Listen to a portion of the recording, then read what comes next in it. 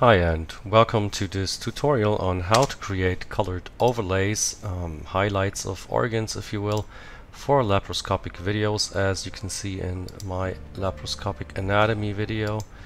Um, especially I want to show you how you can do this highlighting of the gallbladder in green.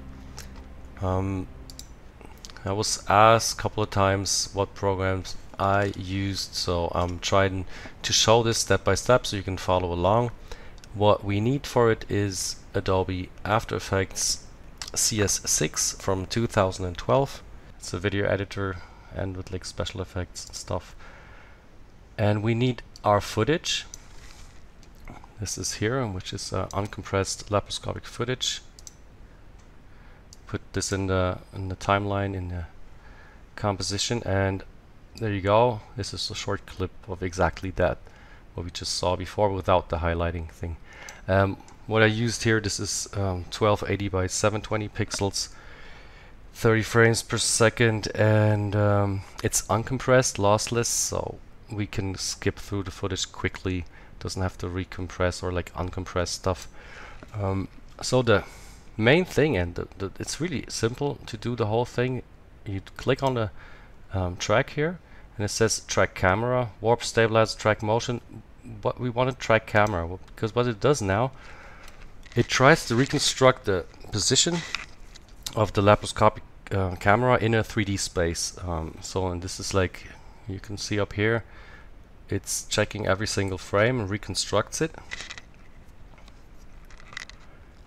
And um, it's not like motion tracking of the single object, but actually we just superimpose the video to a uh, like a fake 3D space where we can uh, put those um, solids, those overlays on it.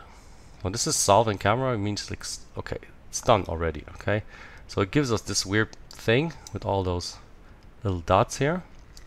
You see how they stick to their surfaces, yeah. And uh, we want to highlight the gallbladder, so this is this is the surfaces they'll give us so take some of those. Right click here create solid in camera.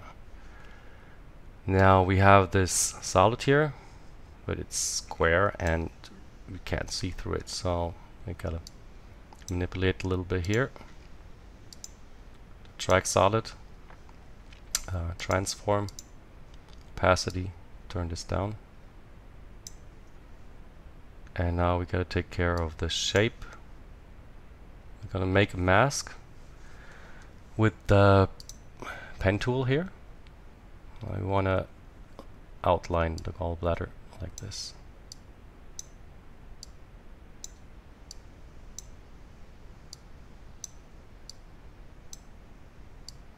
I should do it and you see this is always moving with the gallbladder, it's really nice. So um, if we don't want to see all those outlines and stuff, just click the the main track here. So this this is how it looks now, but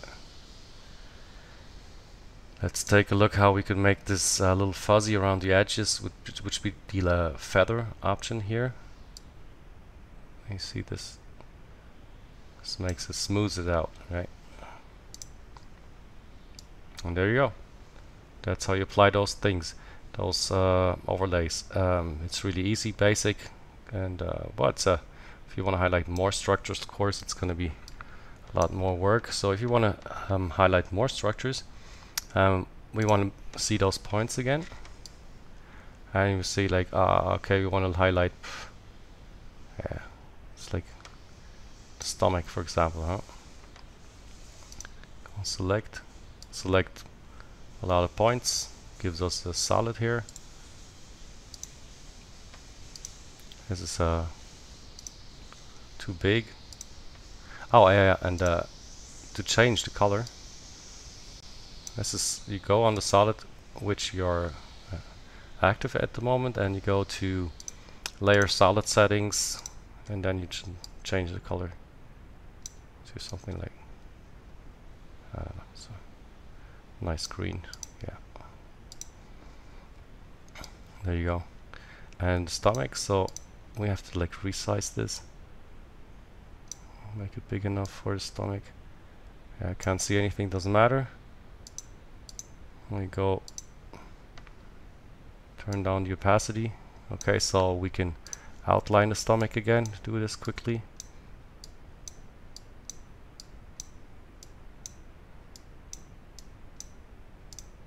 there you go. And don't forget to make the feather the mask. You go, you can actually expand it and, and make it smaller. Yeah maybe like this. Nice huh? alright uh, we don't want to see those points. And we take this off. Click the main thing. There you go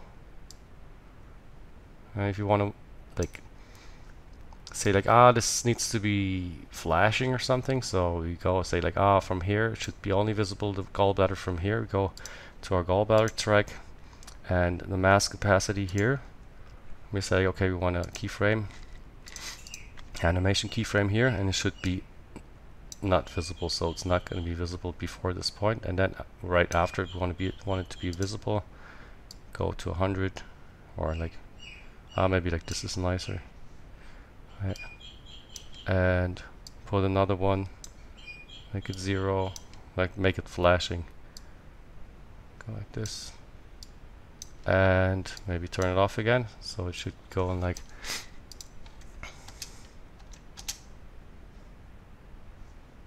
and it's flashing on and off